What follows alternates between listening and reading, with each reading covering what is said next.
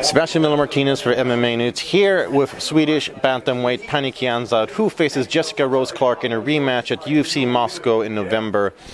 So you mentioned earlier that uh, this was uh, the fight that was offered you. It was a rematch. Uh, you didn't necessarily have to ask for it, but you said that you were very interested in this rematch. Why is that? Uh, I just thought our last fight was really good, and I mean, I, I just really want to top that. I really want to make this fight even better. And what do you do to make that fight even better? Because, like you said, there was a lot of stuff that happened, and one might say that it's it'll be hard to top that in terms of uh, unique techniques that were used.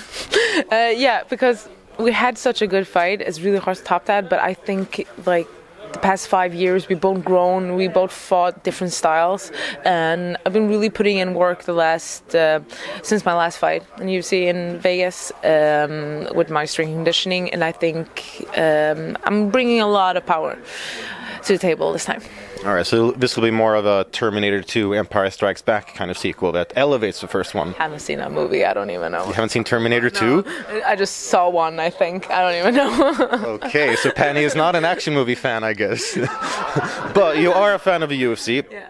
And, and you've seen uh, Jessica Rose Clark compete in the UFC. How do you feel about her latest performances? Uh, I mean, I think they're both fine. She's two and one in UFC. Um, I think she did the best in her last fight against I. Um, but still, I I'm really excited to see her back at 135. I think it was it was just like a bad decision going to 125. If you have to cut so much that everything, uh, like every all of your training you're doing is just to cut weight that's hard. Everything you're thinking about is cutting weight, you're cutting weight instead of like training and feeling good and eating well. Um, so I'm really excited to welcoming her back. All right.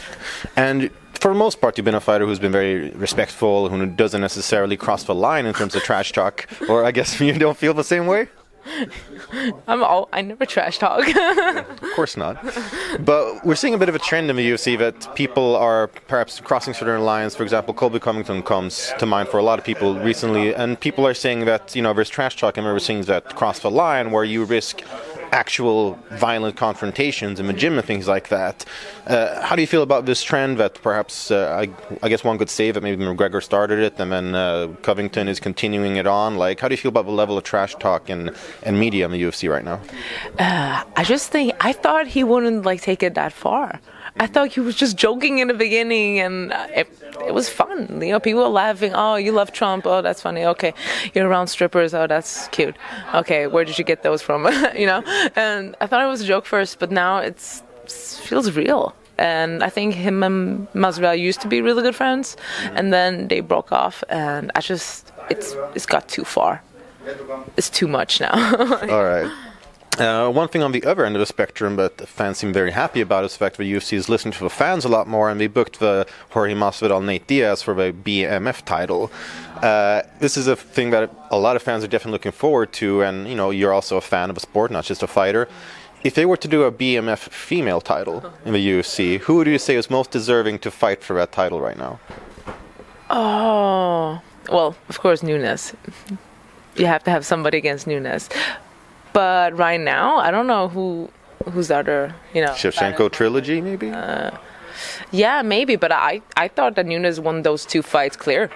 I don't even the second one. Even the second one, I don't think it was no hesitation that she didn't win. I just think people like Amet, like Valentina so much because she's so blonde and cute.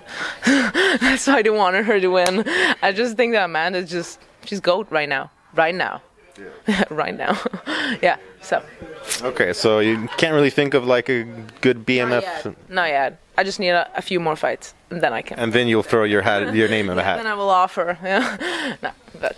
And so uh, this will be your uh, your return to the UFC now when uh, when you take on Clark. And what does the rest of your timetable look like? Do you know? Do you think that you want to return early next year? Do you want to stay active? Do you maybe want to uh, work on some skills until then, or you know, what's your forecast forecast for the next coming months? Oh, call me crazy, but I think if I'm not injured in November, I would like to fight one more time before the year ends. Really? Yeah. So, like maybe the T-Mobile Arena or Singapore? Yeah, maybe Singapore or something. I thought it would be cute. Korea, maybe? Maybe. I've never been there. Uh, yeah. So everything is depending on this fight, but I'm 100% focused on this fight now. Right now, I'm going in. You know, if I die, I die. You know, that mentality. Yeah, I'm leaving it all on the table.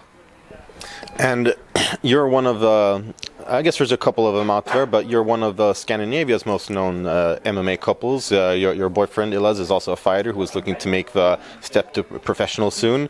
Uh, what's it like when you're living with and also training alongside your partner? Is it do, do those lines sometimes cross from sparring partner to uh, relationship partner?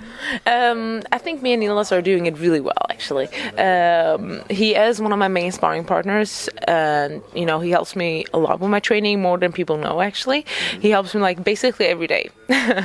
but uh, usually when we train, we do it like when, um, when when I get trained by him, we train alone, um, so we can work on game like uh, um, game plan details and a lot of technical stuff because usually I have my classes with my trainers one one to two hours but with Elias when I work we can work, we can talk like for hours and work like different drills and different positions everything. So um, when we spar he's not you know um, I don't feel like he punches me with a boyfriend you know power it's it's not just like this. he he fucking goes for it.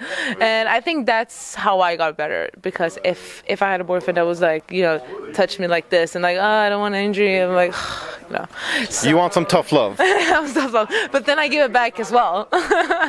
Of course I i'm sure you do. I mean when he fights and when i get him ready for a fight uh, uh, i spar a lot with him. And on fight day too when we warm up we spar together and everything so he can feel like he's comfortable. But he does a lot and i just um, i wish more people could like recognize that he's doing so much. So shout out to Elias back home. Uh, but yeah we've been doing um, we, we roll a lot together, do a lot of sparring, and um, I just think he's he's a big key in my training and my mindset as well. And you've had a pretty passionate fan base from around the world. Obviously, your fans in Iran are, are just constantly blowing up Instagram whenever you post anything. Whenever somebody's tagged with me, they get plus 10 Iranians. plus 10 Iranians. Yeah, there was one Iranian who started actually typing to me and slid into my DMs. Even Elias had to go in there. It's like, dude, dude. Marriage proposal? Uh, dude. He's like, Patty, my love. Yeah. Okay, whatever. but so yeah, uh, you got so many passionate fans, and you've made a lot of new ones after TUF as well. What's your message for the fans who are looking forward to and anticipating your rematch with Clark? Um, I think Actually, I think the fans are like super excited because they think the whole uh, the whole fight is gonna be butt bombs. I, I I'm pretty sure you're gonna be disappointed. so just set this mind, this nasty mind aside, and just think good fight, good fight. And thank you so much for supporting me all over the world, not only Sweden, but States, Iran, all over. All right, well, very happy. Think more about the fights and less about butts, and you will definitely not be disappointed. so this is Sebastian Martinez here with Pannie Kianzad, who rematches Jessica Rose Clark at UFC Moscow in November. Thank you very much.